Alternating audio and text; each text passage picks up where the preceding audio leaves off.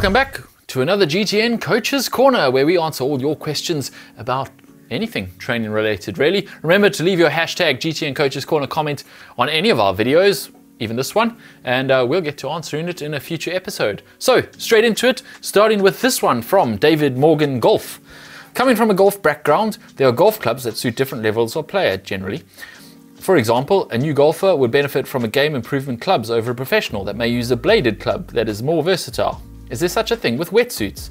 I'm an okay swimmer, a 101 for an Ironman swim PB, but I'm no quicker in a wetsuit. I'd consider myself an intermediate swimmer, so surely I shouldn't use the same wetsuit as a pro. I find when I seek advice, I get lots of generalized answers or people affiliated with certain brands who seem to push their products. So, is there an answer? Smiley face.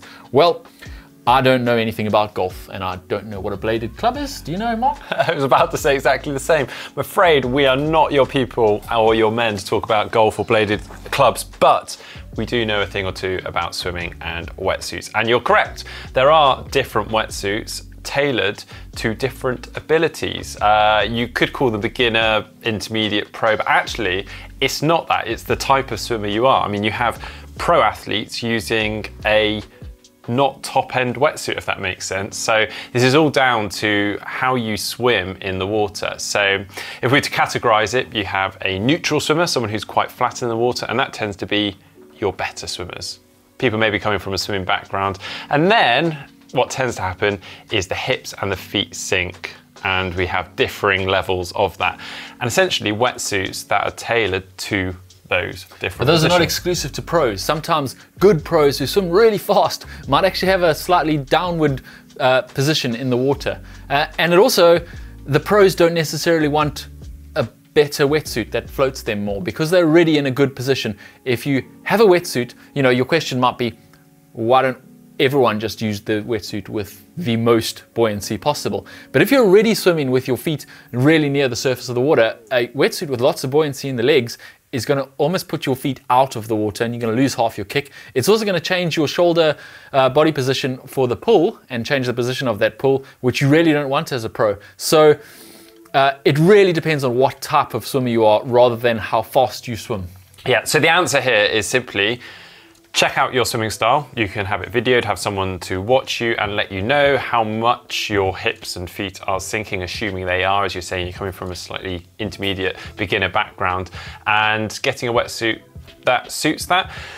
As James has said, the wetsuits will have thicker neoprene around the hips and the legs to help increase that buoyancy and then bring those feet up to the surface and that is going to reduce your drag through the water and improve your 101 Ironman swim time.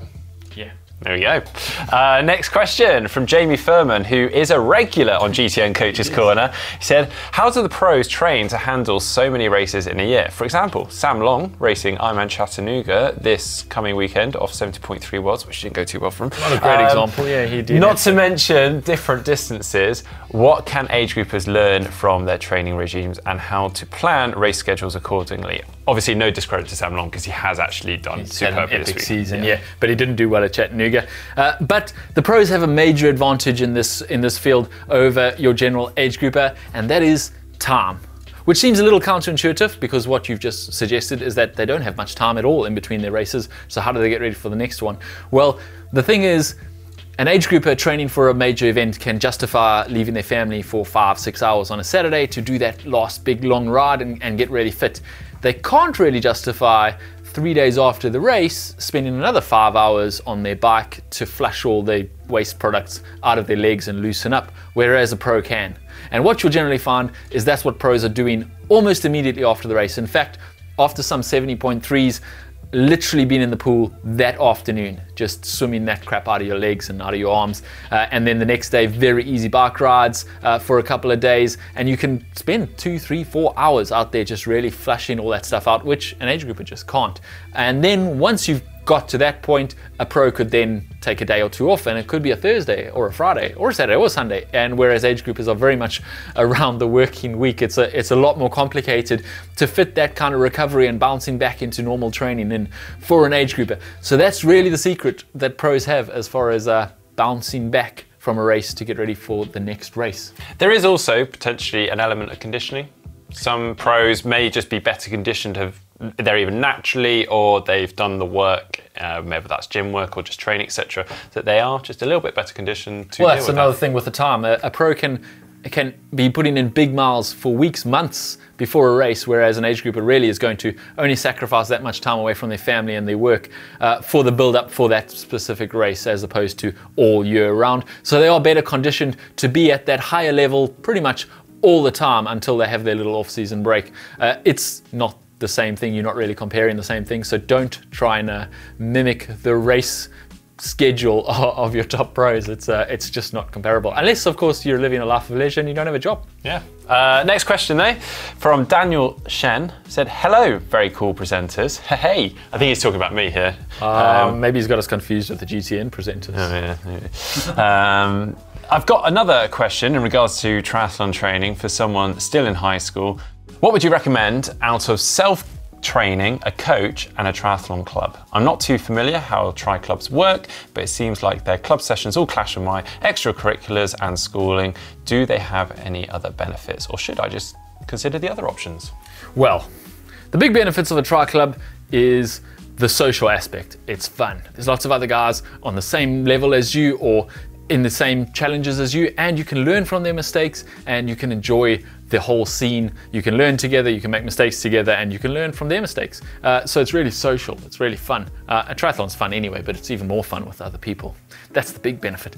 Then, of course, there's self training. And the thing with self training is you can do it on your own. Uh, it's enjoyable and it's challenging and if it's what motivates you and you self-motivated and you really enjoy just really smashing yourself and training really hard it's very much an option don't don't be afraid of it. Uh, you can get really fit like that. Uh, but you have to realize that if you're learning the lessons yourself and you're then researching on things like this youtube video uh, it's going to take you longer than if you're getting some advice from a social from a club a tri club or a coach. Uh, it's going to take you a bit longer but maybe more rewarding because you've done it yourself and you've figured it out and you've uh, you've learned along the way. Yeah, um, and I would add to that that obviously you can just fit it in around your own time, your Yeah, own schedule, exactly. Do your it own whenever it suits you. Extracurriculars. Yeah. There is, of course, hiring a coach, which can be invaluable. Obviously, again, you've got someone overseeing your program. They're bringing in a lot of expertise and knowledge into structuring that program to ultimately get the most out of you and really push you and really kind of build those sessions up and allow you to peak for a race if that coach is doing doing a good job. Yeah, one of the one of the drawbacks with that though is you might actually end up training on your own more because once you've got a very specific schedule where everything fits in specifically for you uh, and the recovery is built in and everything, you're not so flexible as far as hopping on your bike and joining your mates for this ride or that run uh, because it's going to mess up your whole week's training. So you might end up actually training on your own more with a coach, but you'll probably see faster progress because it's your training for your weaknesses and your skills that you need to work on. So you basically got to weigh up all of those things. I guess it depends on your personality. If you really need the fun social aspect, then join a club. If you really need fast results and get to high performance as quickly as possible, hire a coach. And if you're just in it for the challenge and to see what you can do and see where you can get to, and you love just achieving something, then go ahead and self coach. Yeah, and I would add to that. I mean, you are able to join a club, and there is no obligation for you to attend every session throughout the week. You may just join one session every other week. But there's a great thing, you know, being involved in a club, the community, the learnings you get, and experiences from other people. And perhaps when you go to an event, there's other people from your club, and you can travel with them. You've got that camaraderie, and it just makes things feel a little bit nicer and easier. You feel a bit more at ease as you go to these events with them around you. None of these things are exclusive. You don't have to choose one or the other. You can mix and match. You can have a coach who builds into his program your social club training sessions. Absolutely. Well, final question from Ronan van der Vaart. Um, I'm 16 years and a very good average runner, sub 40 minute 10k, very good, and sub 90 minute 5k. But I want to start triathlon. What advice do you have for me? Well, swimming and biking. Yeah, obviously. No, but seriously, we don't have any information about uh, Ronan's swimming ability, but we're going to assume he's going to need some help. Uh, swimming is not like running, you can't just go out there and put the miles in and just thrash away uh, and get faster and better.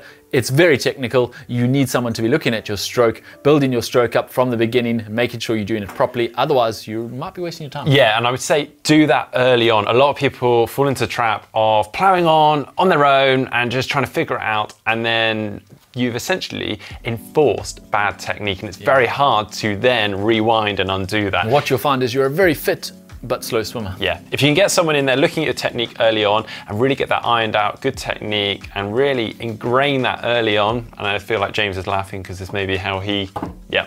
Um, yeah. Do what I say, not what I do. you'll find it a lot, a lot easier. When it comes to cycling, just get out there, just ride. Absolutely. Get a bike and go and ride. You'll be amazed at the freedom that a bike gives you when you actually start training on it. You can explore a lot further and a lot more fun than. Uh, than you can on the run. I used to run everywhere in my training, and then I got a bike, and suddenly I was going 100 kilometers in one day, and I was like, whoa, there's a whole new world out there that I didn't even know existed. Uh, it's really cool, it's really fun. Uh, but I will say, if you're serious about your triathlon goals, get on those clipless pedals as soon as possible. Get used to we'll call a real bike, a road bike with clipless pedals and shifting because you need to get used to that. It's a skill and you have to practice it. And the sooner you start using clipless pedals and getting used to that, the better for your cycling. Yeah, absolutely. And then I'll probably add to that, just enter a triathlon. Absolutely. I mean, you've obviously come, you're coming from running, you've got some fitness there, and providing you can swim and cycle to a degree, then you're probably going to get yourself around a triathlon. It may not be pretty, but it'd be fantastic just to get that experience and then that motivation going forwards and a lot of learnings from that. So Absolutely. Muddle your way through the first one. You're going to make a bunch of mistakes. Forgive yourself for those, but you'll also learn a whole lot. You'll know exactly what you need to work on to improve the next time, and you can take it from there. Yeah, it's exciting. I mean, anyone getting into triathlon is a very exciting time. So, wish you all the best and do let us know how you get on in the comment section down below. Um, if you enjoyed today's video, please do give it a thumbs up, give it a like, and don't forget to give us a subscribe down below and send in more questions using GTN Coach's Corner.